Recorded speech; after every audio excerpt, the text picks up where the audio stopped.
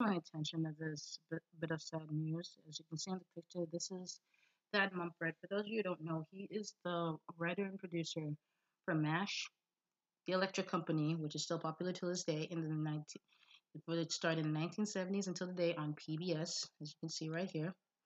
And he helped write for the Bill Cosby Show and also the spinoff, as you can see in this picture, Different World.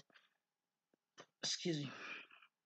And um, I will post the article for more details. But I mean, since I can only go 10 minutes in the video, but not only that, Mumford, he's not just a writer producer, but he opened open, open doors for many other black writers, black producers, even acting. He even does some, he even did some acting like on, like time to time he'll do like voice acting on uh, Sesame Street, and um, he.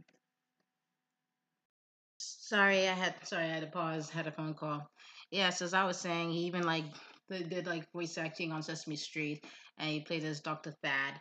And he was on, and he even did like wrote help write for his popular sitcoms like Alf, Maude, Judging Amy, the NYPD, and also he would even did the writing for Home Improvement as well. So he did a lot, and we remember he talked about, um, especially like his most popular sitcoms, which is the Bill Cosby Show, The Electric Company, and Different Different World which we got to give credit to because I mean people don't realize that you know a lot of things that black people contribute, which is why I'm even taking this time to even remember uh, that Thad Mumford, you know, and even to honor him because he opened a lot of doors for for black people to even get into the entertainment industry to write for shows and produce shows, you know, because you remember that he talked on an interview that he talked about as a kid. It was sometime last year about his like you know his, he said he wanted to be an actor but his mom said like you know they won't let a black person get into that you know you're just wasting your time but he never gave up.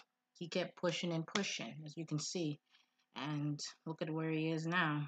It's just sad that he passed away at the age of 60, 67 but this is my way of say, saying you know just to appreciate what he's done and all the shows that we watched you know especially he did this show, and this there's another younger picture of of Dad. And this and there's and of course help with the help make different world. It's pretty sad, and he was even like on the show on the show as well.